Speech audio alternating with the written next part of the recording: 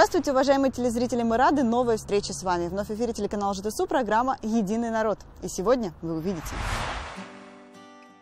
Успехи радуют. Результаты работы областного молодежного движения Жангаружулы отмечены на республиканском уровне. Золотая пора. Праздник людей преклонного возраста отметили в Ассамблее народа Казахстана. С любовью от всей души. Как работают мастера рукоделия. Мысль приходит, я встаю и начинаю рисовать, а потом я начинаю это все делать.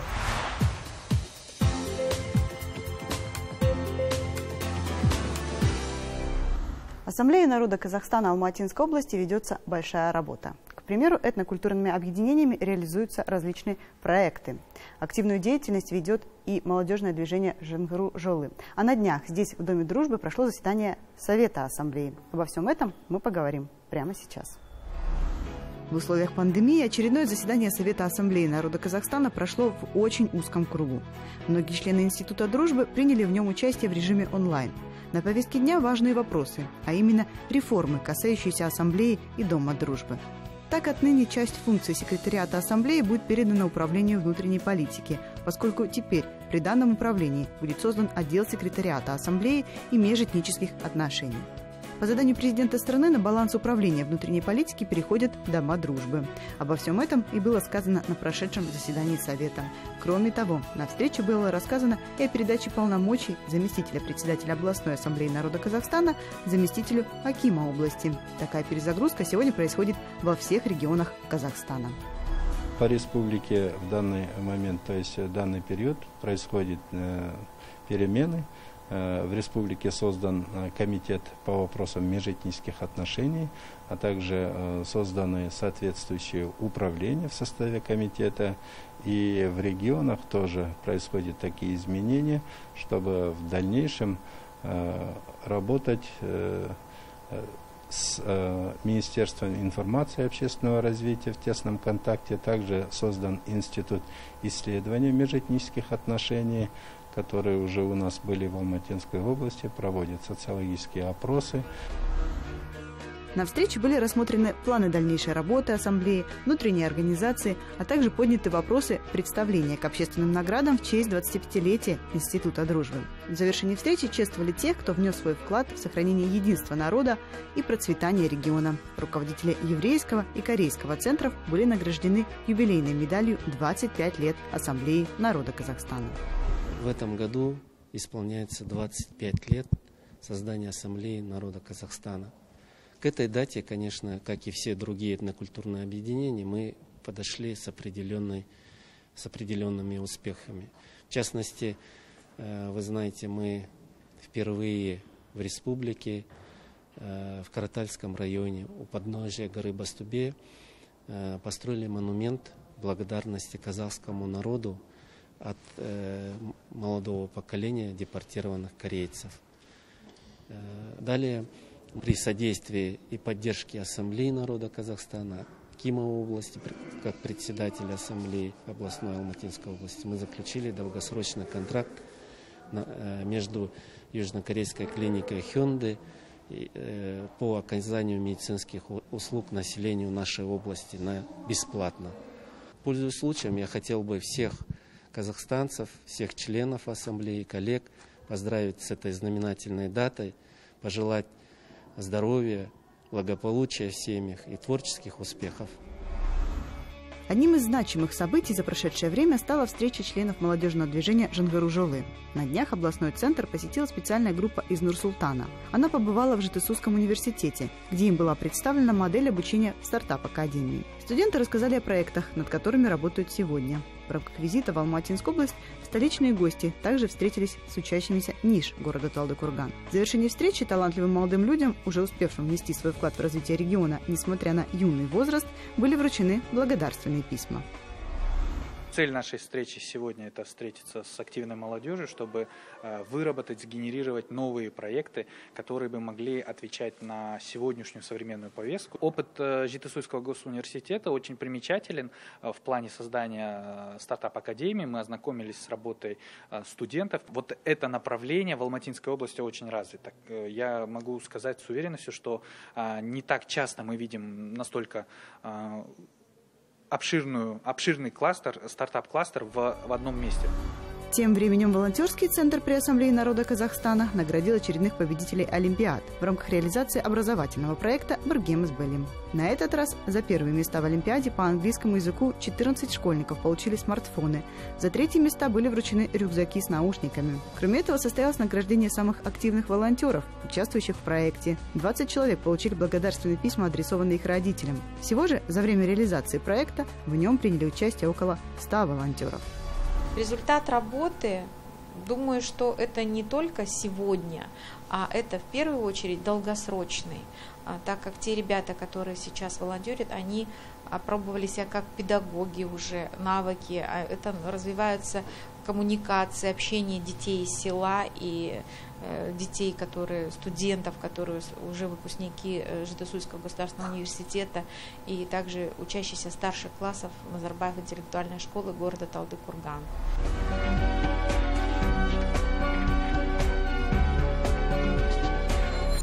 Уважительное отношение к старшему поколению – это неотъемлемая часть традиций каждого из народов нашей многонациональной страны. Поэтому неудивительно, что Ассамблеей народа Казахстана Алматинской области ежегодно проводится праздник ко Дню пожилого человека. Вот и в этом году здесь, в Доме дружбы, собрались вместе старейшины этнокультурных объединений, чтобы поделиться опытом, вспомнить о прошлом и подумать о будущем.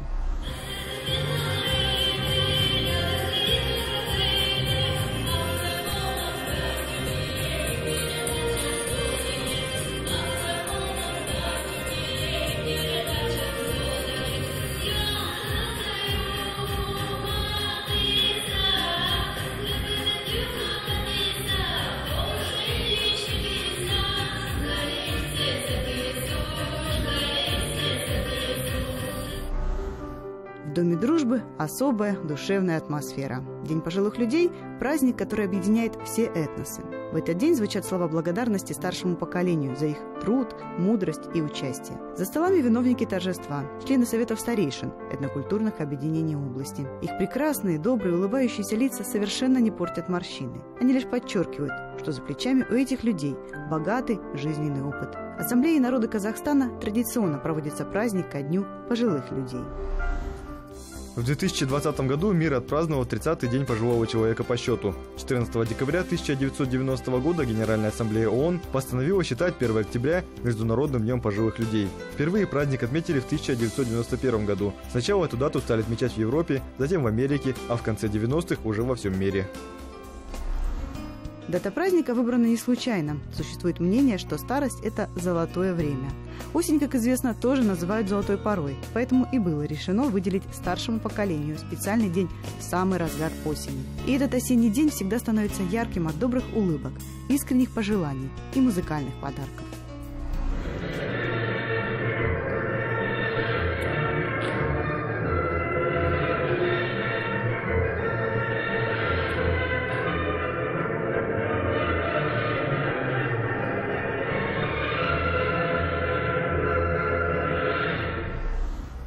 Вот уже 8 лет инициатором проведения такого мероприятия при Ассамблее народа Казахстана выступает еврейский культурно-благотворительный центр «Авив».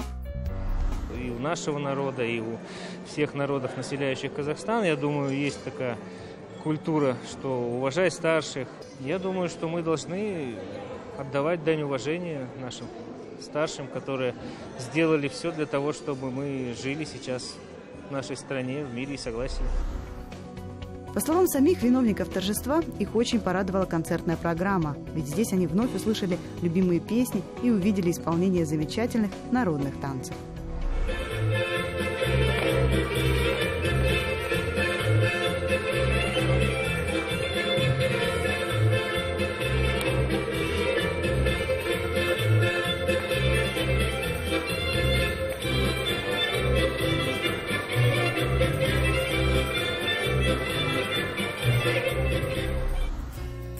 Стоит отметить, что жизнерадостные бабушки с удовольствием станцевали и сами.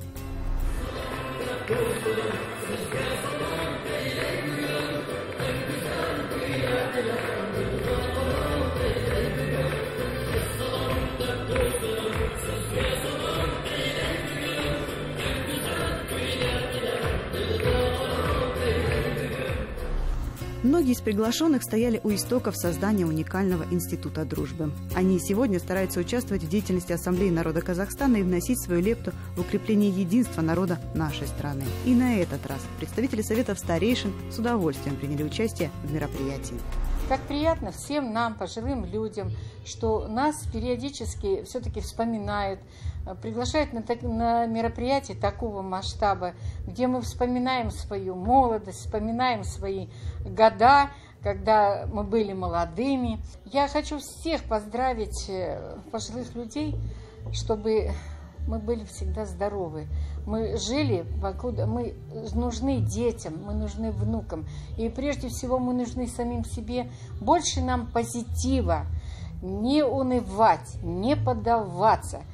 Самое главное – это именно общение. Для нашего возраста общение. Поэтому мы сегодня очень рады здесь собраться в Доме дружбы. Вот. Я хотел бы всех поздравить с таким праздником. День пожилых людей. Практически я считаю себе молодым, хотя уже под 80. Здоровье зависит только от нашего, как бы, общения. Для представителей старшего поколения этот праздник – замечательный повод встретиться, вспомнить былые годы и еще раз доказать, что возраст для них не помеха.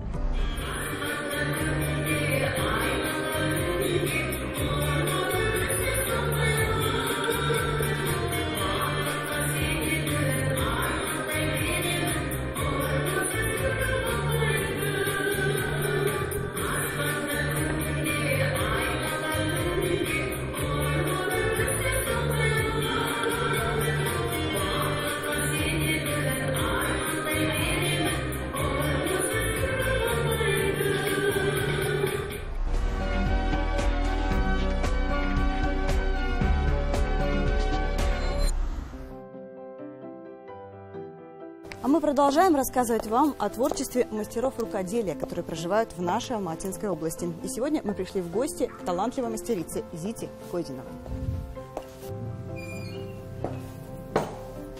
Здравствуйте. Здравствуйте. Здравствуйте. Добро пожаловать. Мы вас ждем. Всего Очень рада вас видеть. Проходите, Тогда пожалуйста. вас гости собирались. рада видеть. Знакомьтесь, Козинова Зита Александровна. Заботливая дочь, любящая супруга, мама и бабушка.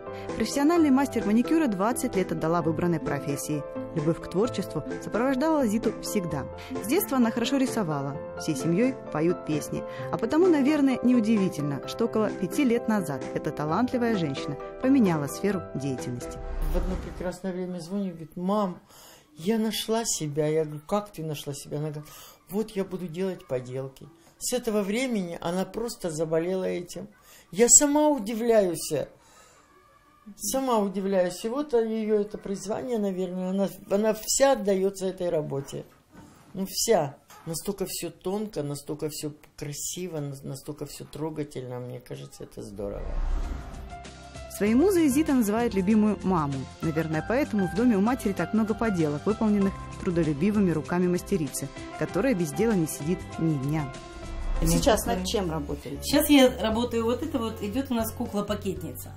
То есть, ну, голову здесь сошьем, она будет так в русском стиле, платок так на ней будет. Это пакетница, чтобы вот сюда ложить пакеты. Угу. Когда пакеты ложишь, она такая толстенькая становится, и чтобы красиво висела у хозяйки. А, ее на стену надо? Да, ее на стену вешаешь. Еще фартучек шьется, чтобы хозяйка одевала, и прихваточки. Это моя самая первая картина, когда я только начала работать с пеноплексом. Потом вот такой обережек на кухню. То есть тоже делается с пакетиков и сладки эти чесночки.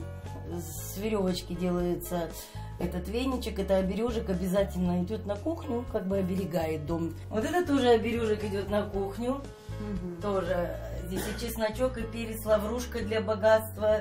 Здесь полностью все. Денюшка, лапшичка, это идет все это на богатство, на удачу, на радость. Еще вот еще домовенок. Охраняет дом, дает здоровье, тоже богатство. Тоже он делается текстильный. Из материала все. Полностью из материала, потом делается ПВА. Он застывает и становится вот такой, как каменный. Личико рисованное, все рисованное, это вязаные. Домовят таких часто делаете? Да, часто заказывают. Именно таких домовят. Я с колготками не работаю, его делают еще как бы из колготок. Я не работаю, я работаю с натуральных. полностью. Ну, русская народная, вот у меня девочка, их несколько идут, я только начала их делать. Вот. Лепное полностью из глины лепила. Личика, ручки, ножки лепные, текстильная тоже вся. Вот, шитая ну, полностью, штанишки. да, синтепоном сделанная у нас и все есть, все, что надо.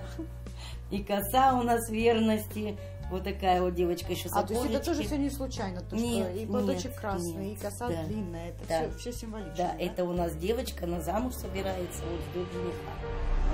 Одна из любимых работ – композиция «Дорогие мои старики». Над ней автор трудилась несколько месяцев, тщательно выбирала образы, подбирала материал. Наверное, поэтому лица этих удивительных кукол, бабушек и дедушек, смотрятся как живые, отражая тоску по родным, детям и внукам.